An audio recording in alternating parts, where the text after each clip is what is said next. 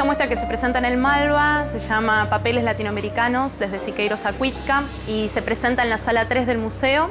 Es una selección de obras sobre papel. Eh, muchas de estas obras pertenecen a la colección permanente y otras son préstamos especiales para esta producción.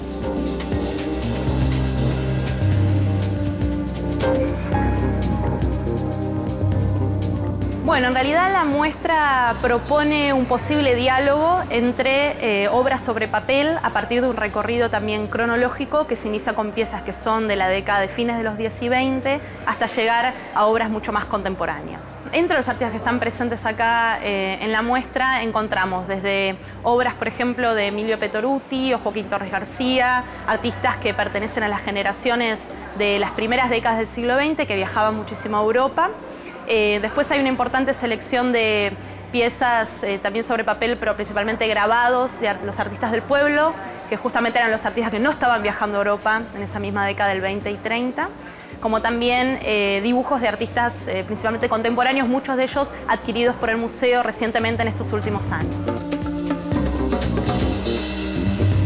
Bueno, en estos casos tenemos una obra de Adolfo Velo, que fue un artista argentino que trabajó en la década del 20, 30, principalmente, bueno, en estos casos la obra que nos encontramos acá es de 1923.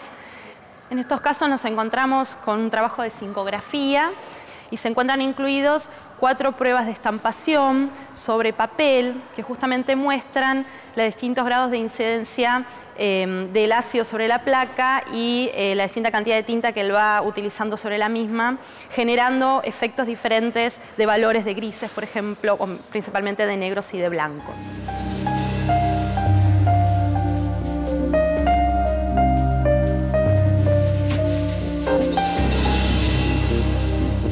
Museo decide armar esta exposición porque dentro del Malva nosotros tenemos una importante selección, digamos, dentro del acervo que tiene el museo, una importante parte de esta corresponde a piezas sobre papel y esta muestra es una oportunidad para ver em, trabajos que en general no están colgados permanentemente en nuestra sala y también em, arma un recorrido, una lectura diferente de la colección que nosotros tenemos, propone un recorrido, una lectura distinta. Otra de las piezas que tenemos acá en la muestra es un trabajo de Guillermo Cuitca. Cuitca es otro artista argentino, un artista joven que forma parte del, del campo contemporáneo, quizá uno de los más exitosos en estos últimos años. Es una obra de tinta sobre papel, sobre la cual el artista trabajó con tinta y después mojó el papel de tal manera que el dibujo se iba corriendo y generaba diseños un poco más y un poco menos controlados en algún punto. ¿no?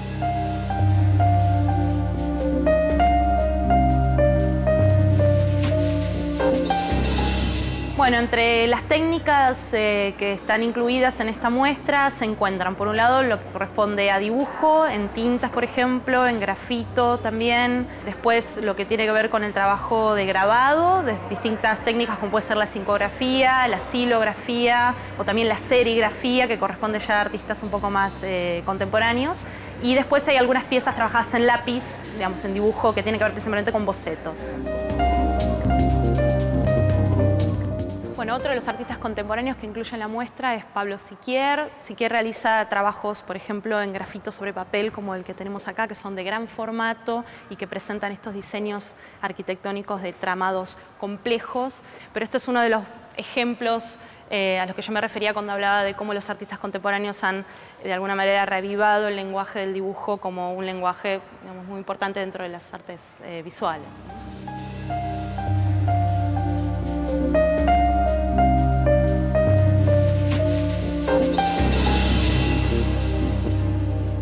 Por las cuales las piezas, estas piezas que tenemos acá no se exhiben permanentemente es que las obras sobre papel requieren ciertos cuidados y medidas eh, de preservación, eh, la temperatura que también tiene que tener la, sala, eh, por lo cual estos tipos de condiciones han sido consideradas especialmente para esta muestra, que generan además un clima muy particular dentro del espacio, en estos casos la pared ha sido pintada también de un color rojo que permite resaltar sobre todo las piezas sobre papel blanco, ¿no? de una manera distinta a la sala que permanentemente tenemos en el museo que es de color blanco.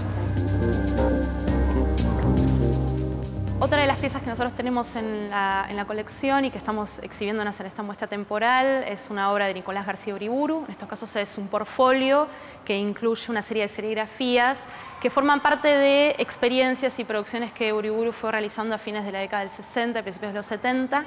Entre ellas, por ejemplo, se puede ver acá en el medio eh, la famosa experiencia del año 68 que él hizo durante la Bienal de Venecia, en forma paralela a la Bienal, cuando tiñó el río del canal de Valencia de color verde. Forma parte de eh, esta denuncia que hace Uriburu vinculada a la ecología, vinculada a la contaminación y que además corresponde justamente a estos lenguajes del arte ecológico o el lanar que se está empezando a desarrollar a fines de los 60 en el arte contemporáneo.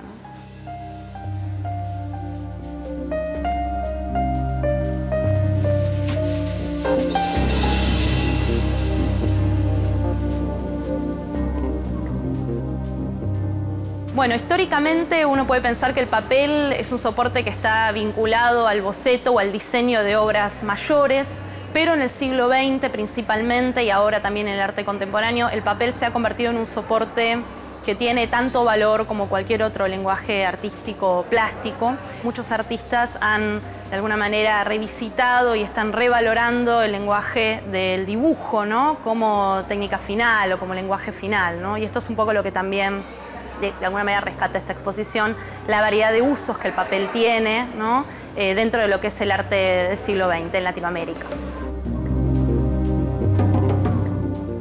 Tenemos finalmente un dibujo de Ernesto Deira. Eh, Deira fue un artista argentino que formó parte del grupo de la Nueva Figuración, que trabajó en nuestro país a comienzos de la década del 60. La particularidad que tiene esta obra sobre papel es que en estos casos el dibujo funciona justamente como diseño para una pieza em, posterior, ¿no? Y si uno observa los detalles, la forma en la que están conectadas estos nueve eh, cuadros, digamos, que después se repiten en nueve bastidores en la pintura, cada línea está respetada muy fielmente por el artista cuando decidió pasarla desde el soporte papel a la pintura.